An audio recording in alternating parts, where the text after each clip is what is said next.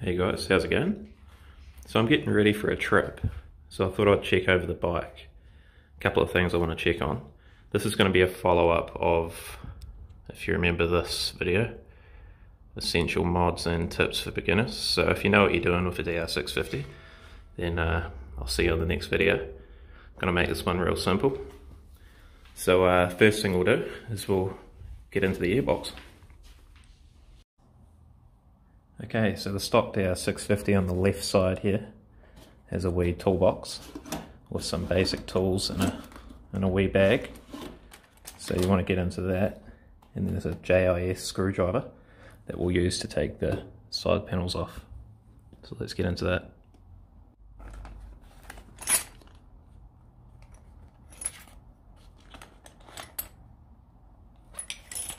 So there's two JIS screwdrivers. It's the larger one of the two. And then there's two screws on each side for the side panels. I've just got this rag here for a grip. This video is going to be more of a hands-on compared to the last one, which is more about what the DR650 is about and its issues and things like that. But what we're going to do now is just check the air filter. And there's also one other filter we want to check. And that's for the carburetor, but I'll show you when we get in there. So side panel out. Okay, so here's the side door, four screws for the airbox. You want to swap out the large JIS screwdriver for the smaller one, because these are smaller screws. So get these loose, and then we can see how clean the filter is. And then we'll pop off the seat and then check the other filter. I'll show you where that is. Alright, so I'll get taking these off and get back to you.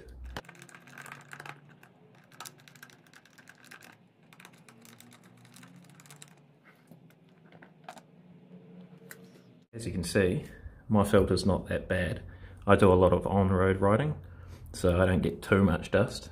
I do the occasional off-road, but um, I'd call that good. There's still plenty of oil on it.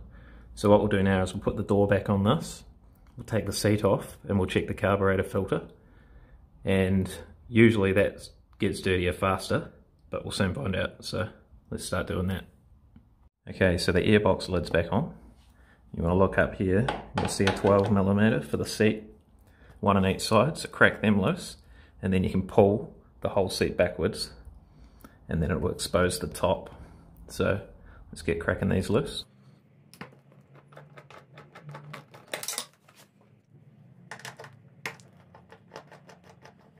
Okay, so the two 12 millimeters are off. Slide it back. It's just a wee latch there that holds on the front. So that's that. So in terms of air filters, this is the second one for the carburetor. And as you can see, it's quite dirty. But what I've done is, I'll just grab some pliers.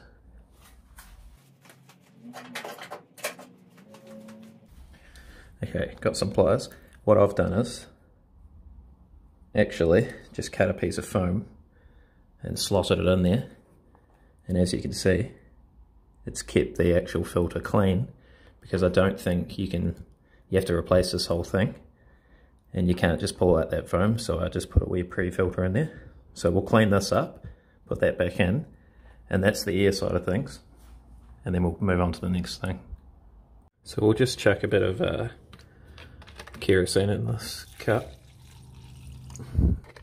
let it soak for a little bit.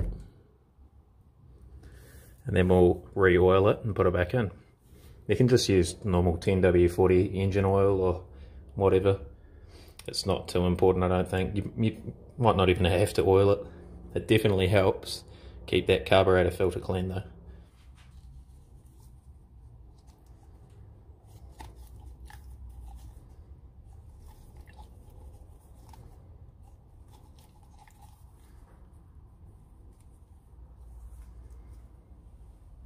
That's about as clean as it's going to get. But if you look there, it's quite surprising.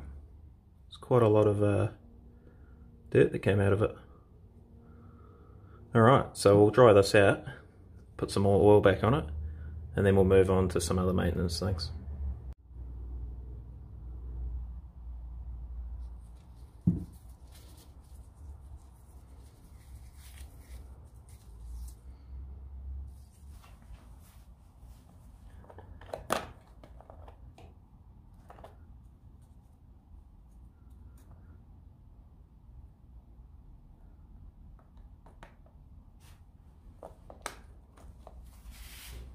Okay, so I think the next thing we'll check is the tyre pressure. So solo riding, we're looking at 22 psi for the front, 25 psi for the rear. So we'll check that because we'll be doing a bit of uh, long distance. So we want to make sure the tyre pressure is good. So let's get a gauge and we'll check that. Okay, for the front, 15 psi so I'm going to need more on the front. We'll check the rear.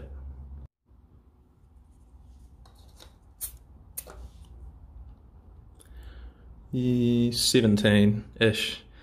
So it's easier for me just to go to the garage and pump that up because I don't actually have the connection for my compressor. So um, I'll do that afterwards, but at least I know that I need to pump them up.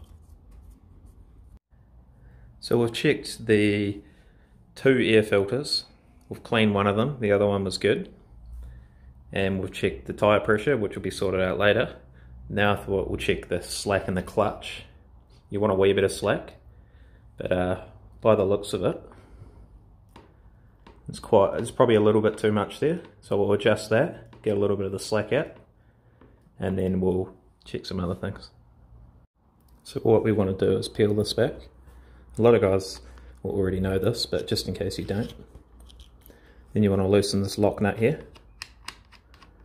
And then we want to screw this out until we've just got a little bit of play. So you just keep playing with the clutch there. I would say, I'm not pulling on the cable, that's just its own free play. I'm going to call that good there. Lock this lock nut back down, slide this back over, and that's the clutch done. Okay, so this might be an obvious one, but here's your oil level. You want to check if it's clean, check when you last changed it, and check the level. That's the bike straight there. It's just sitting just below the full mark, which is good. And this oil was changed about a thousand k's ago, so I'm going to call it good. So that's the oil done. I've also got a video of doing the oil change. If you're interested, I'll put that in the description.